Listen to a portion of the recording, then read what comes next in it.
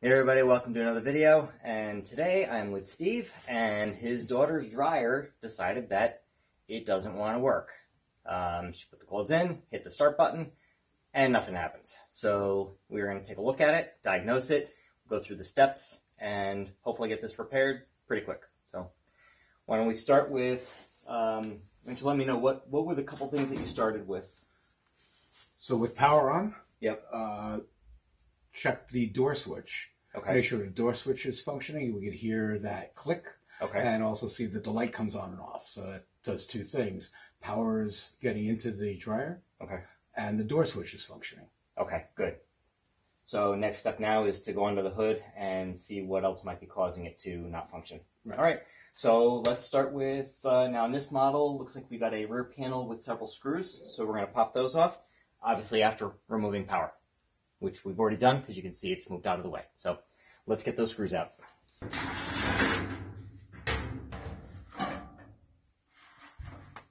All right, so now that we have the back off, let's take a look and see what we've got here. Uh, we did look at a wiring diagram of the dryer, and we'll see that there are several elements here that are protecting from bad things happening.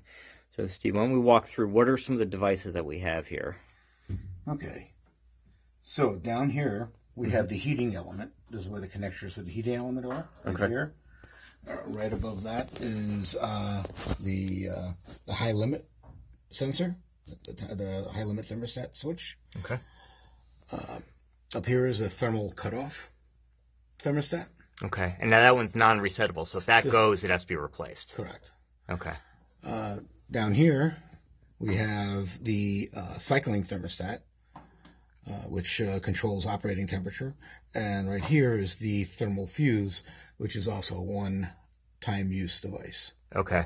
And I think if I remember correctly in the diagram, that cycling thermostat has kind of two modes. So that would be tied into your high temp, low temp operation. Correct. Um, that thermal fuse that we're looking at right here actually ties into the motor. So if that opens, the motor won't start. The motor has a switch as well that ties into the heating element. So if the motor's not running, the heating element can't run. So we've got one, two, three. We've got four devices that will control whether or not the heating element gets power, Plus the door switch. plus the door switch, because the door switch prevents the motor from starting, which prevents that other switch from actuating. Right. Okay, so So we'll go through and start testing these one at a time. okay, We always want to make sure that one of the uh, connections is removed. Yep. When we're going to run continuity, we're using a, uh, a digital voltmeter, yep, and I have it set to continuity mode. okay. So when we hear the buzz, we know we're okay. So we've got good there. So we know that guy's not open. Come down here. And this one's kind of interesting because the uh, cutoff is actually directly connected to the heating element. So we're gonna gonna do a few tests here to check it. So this is right now checking the Is that the high the power? high temp. The high temp. Yep. Okay. So that's good. And let's come down here and see if we get continuity on the heater.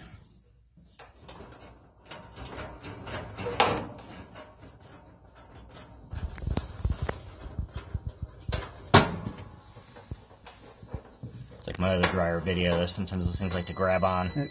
So we've got continuity now. The, the, the heating element will have some small resistance, but Right. it, it's showing it's got continuity, so we're good there. Yeah, that's something. If that were open, that might be uh, if your dryer is running but not getting hot, not heating the clothes. That's a good spot to check. Right, We'll check the cycling Okay. thermostat. The red wires is the heater power. So this is the one we really have to focus on. And that's good. Okay.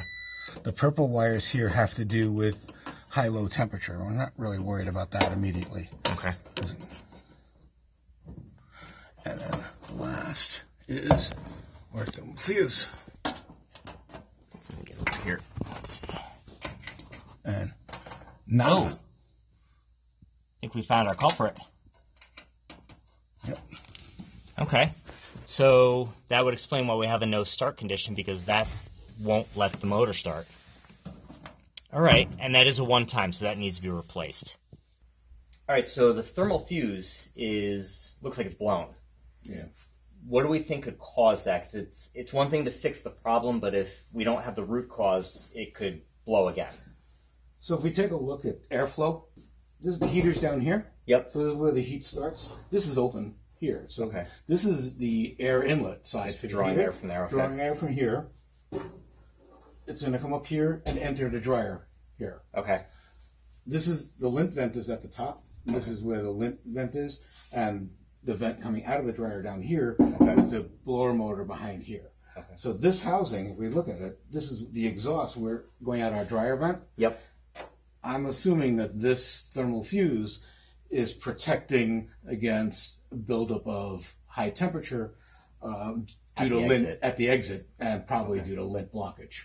So most likely this had a blockage in the vent, which is causing a backup of the airflow is not flowing well. Everything's getting hot, and that was the last ditch effort. It protects the dryer from catching fire. Right.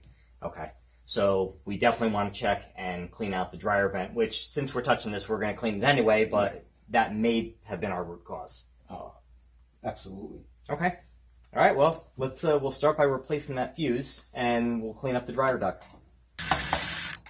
The thermal fuse on this particular model dryer fastens with one screw. Okay. Pretty simple device. Yeah.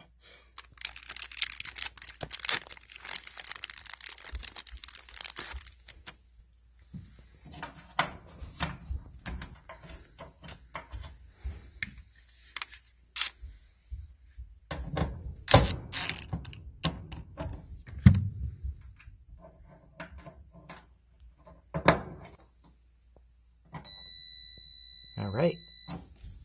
So it looks like this guy got a little sloppy, probably from cycling it. So I'll just give it a little, very gentle, just a very gentle pinch, so that those loops grab onto the spade lugs a little bit tighter.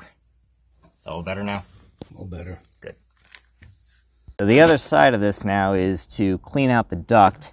And you can see here we've got the flaps. So why don't we pop these flaps off? We'll take a look inside. These here usually are flexible. They've got very thin plastic tabs on them. So be careful not to break them. See those tabs? They're little pegs. You don't want to break those off. So just flex them gently. Just pop them out. And yep, you can see we are pretty clogged. So let's get all that lint out of there. We'll start by cleaning up the outer part of the duct.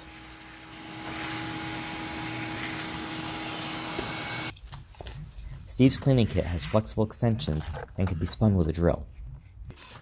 It has an adapter to connect a vacuum cleaner, which makes lint removal that much easier.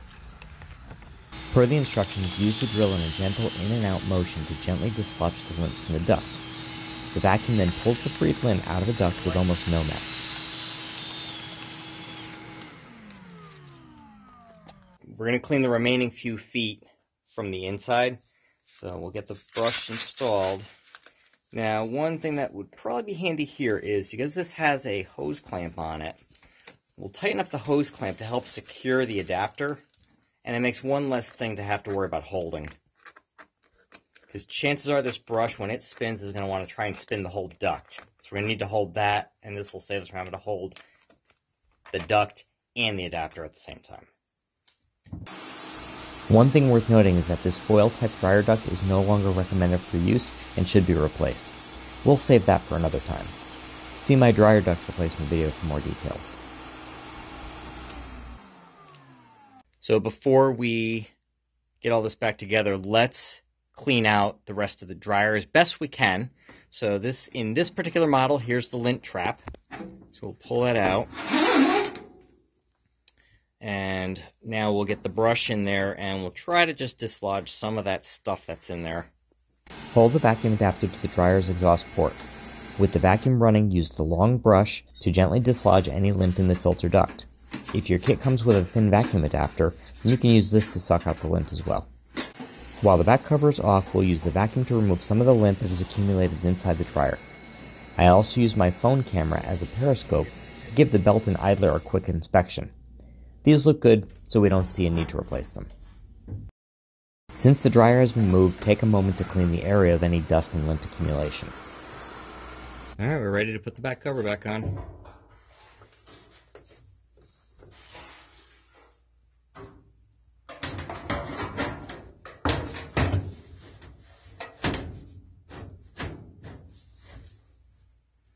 Let's get this lined up and a few screws started to hold it in place. Yep.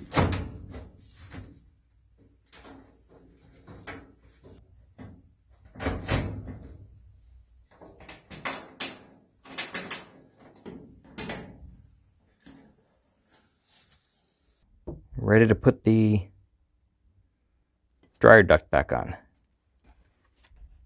Yeah, the clamp is loosened up. We tightened it around that adapter before. Mm-hmm. And also orient the clamp so that we can actually access the screw to secure it. So I'm gonna have it facing straight up so that it's easy to get to. Okay. All right, with it back in place, get it plugged back in. That always helps. Beautiful. I'll let it warm up. Make sure everything is Yep. functioning. I'll take a walk outside and we'll check the duct. And you can see we got some dust that blew out, so we'll get that out of there. But we got good airflow, which is definitely a good sign. All right, let's take a look and see how much lint and dust we actually got out. Now, we cleaned this before we started this process. That's how much lint came out of that ductwork. That's probably what the problem was. There was so much in there it was blocking airflow, and it led to that over temp condition, which tripped the safety fuse. So, problem's been fixed, dryer's working, and from now on, every one to two years, that duct is going to get cleaned out. All right, well, that wraps it up for this video. Steve, thanks so much for the opportunity to do another video. Uh, hopefully, people have learned uh, just another diagnostic tool they can use if their uh, clothes dryer stops working, but also to reinforce that importance of cleaning those ducts because that could have been a fire, but thankfully the safety circuit kicked in and it did sacrifice itself to protect um, the uh, the dryer in the house. So that's good. Um, and so hopefully, uh, Many many years of drying ahead. yes.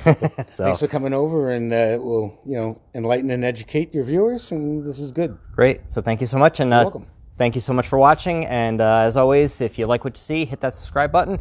And until the next video, see you later.